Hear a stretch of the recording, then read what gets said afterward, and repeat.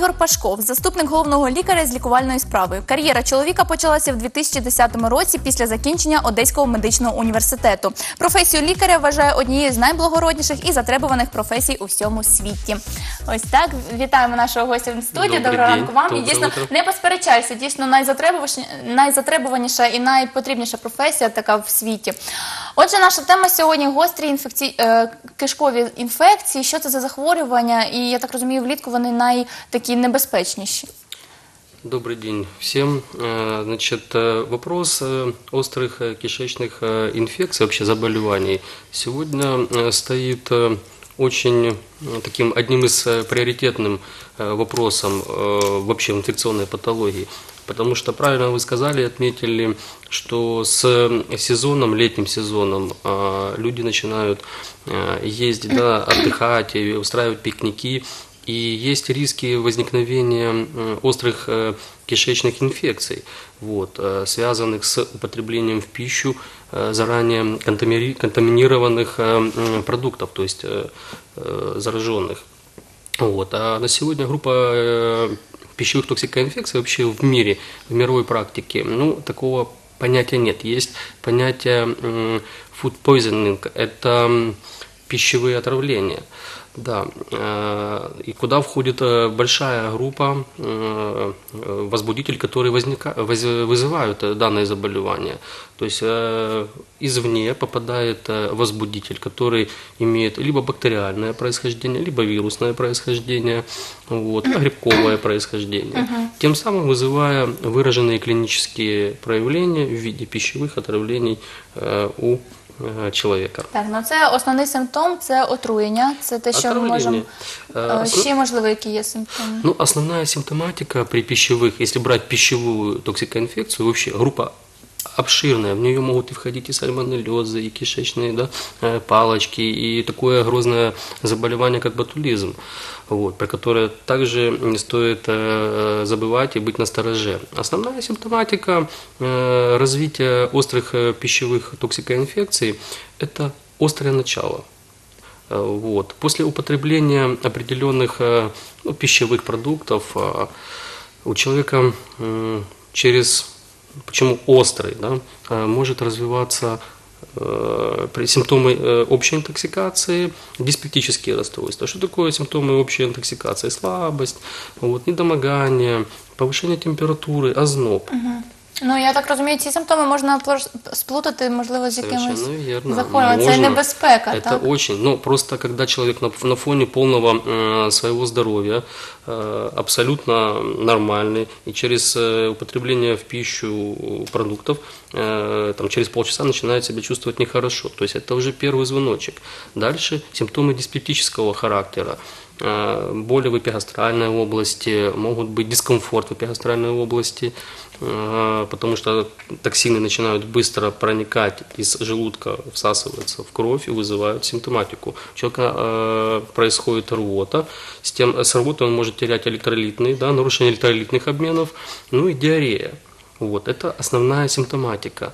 Но хочу все-таки телезрителей направить на то, что диареи могут быть связаны не только с инфекционным генезом, особенно э, у людей, которые страдают сахарным диабетом, вот, э, у людей, у которых есть хронические заболевания желудочно-кишечного тракта, такие как панкреатит, холецистит. То есть вот при употреблении жирной пищи, несоблюдение диетических правил, э, развивается данная, возможно, данная симптоматика.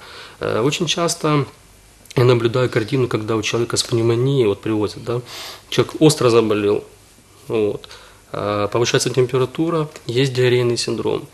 Ну, возм- очень при, при, при любых состояниях возможно да, послабление стула. А, И э, немаловажно, есть э, такое понятие, как антибиотикоассоциированная диарея. Это когда бесконтрольный прием интернет великая вещь на сегодня, поэтому э, простой э, обыватель набрал э, в интернете, э, да, вот там, какую-то симптоматику определенную, и начинает бесконтрольно пить антибиотики, тем самым вызывая у себя дисбактериоз кишечника. Тобто не варто довіряти інтернету, всім, Ну, ну, нужно всім обращаться к специалисту, конечно. Потому что если человек, э, в, э, ну, в моем случае пациент, э, в первые сутки не справляется, не надо, э, есть такое хорошее слово, завлекаты.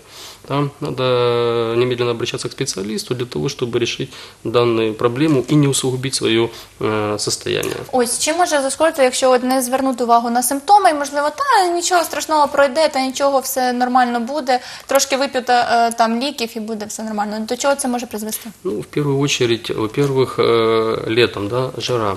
Человек с э, температурой, с рвотой, с диареей теряет э, и э, с организма воду. То есть нарушение электролитного баланса. Э, То есть идет обезвоживание организма. Это первое. Второе. Идет нарушение гемодинамики, то есть снижение артериального давления. Вот, вплоть до гипоксии, то есть не- нехватка кислорода.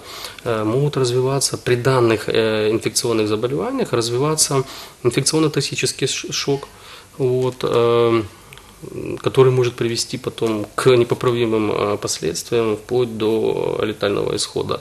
Поэтому не стоит э, усугублять свое состояние. Также на фоне этого могут и обостриться хронические заболевания. Тот же панкреатит, холецистит. Тобто тільки от е, відволікся, так от е, з- вирішив, що не буду звертати увагу на симптоми, можна ще більше собі шкоди наробити. Конечно, есть же такое заболевание, вот, например, как дизентерия, которая поражает стенки да, кишечника, вот, э, п- протекает по, по типу колита. И, э, естественно, идет воспаление кишечника, поражение кишечника. Ну, в принципе, человек может остаться э, на всю жизнь инвалидом. Поэтому не стоит э, Тому як тільки Займатися відчуваєте, самоліченням. одразу до лікаря, до спеціаліста, щоб не було потім проблем. Що може бути джерелом інфекції? Бо я так розумію, їх багато і влітку особливо це небезпечно. очень э, небезопасно. Значит, основными м, такими источниками могут быть, во-первых, это пищевые продукты. А, Очень важно м, соблюдать правила приготовления, э, правила хранения, ну, естественно, реализации данного продукта. Но если реализация, то это система общепита. Вот, на что бы я хотел бы обратить внимание а, м, хозяев да, м, данных э, учреждений общепита. А, Потому что при пищевых э, отравлениях человек не чувствует, вот в чем опасность, не чувствует аналитическими своими органами восприятия, вот не меняет продукт, ни вкус, ни цвет, ни запах. Поэтому, конечно, человек, если, если продукт будет э, кислый, там, да, иметь неприятный цвет и вкус, он же его не будет есть. А здесь, э, к сожалению, этого нет. Поэтому человек употребляет и заражается. Это мясо, мясные продук- продукты, э, молочные продукты. Это различные рыбные блюда, заливные. Сейчас сезон шашлыков, поэтому тоже на это стоит обратить внимание. Э, Ну и морская продукция, такие как